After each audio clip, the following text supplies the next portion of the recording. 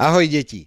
Na straně nadepsané L, plný kruh, jste si v prvním cvičení přečetli řádky písmen. No a když je dokážete ta písmena přečíst, proč byste je nemohli umět napsat?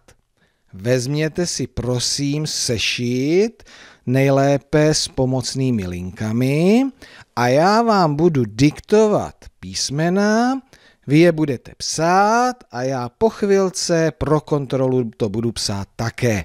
Tak jdeme na to? Výborně. Začínáme tady vlevo nahoře na prvním řádku. L.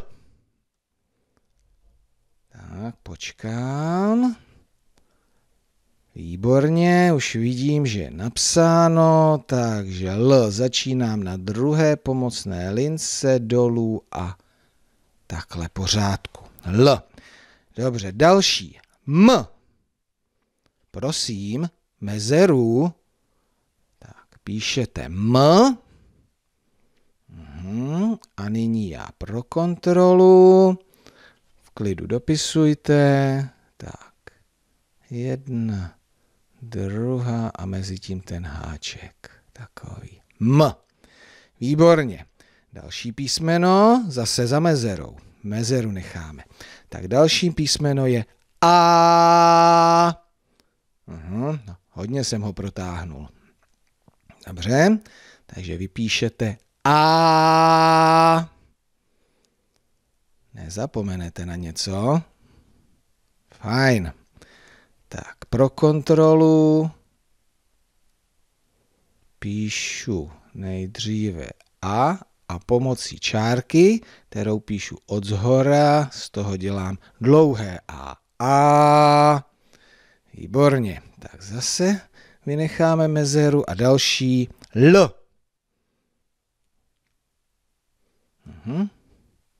Tak to vám šlo již rychleji, protože už jsme ho tady na řádku psali. Tak, L. Další, předposlední písmeno. A. Uhum, krátce. A. Takže mezera a kontrola ode mě. A. A poslední. M. Mezeru nechte a dodržujte velikosti těch písmen. Od druhé pomocné linky. Tak, zkontrolujte. Výborně, tak máme napsán diktát celý písmen. Pro jistotu si ho ještě přečteme a vy zkontrolujte, jestli tam máte všechno správně. Tak jdeme na to. L, M, A, L a M.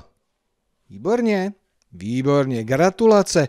No klidně si můžete napsat ještě další řádek písmen dle vlastní volby. Pozor, mezi písmeny nechávejte mezery, každé písmeno má tady svůj domeček.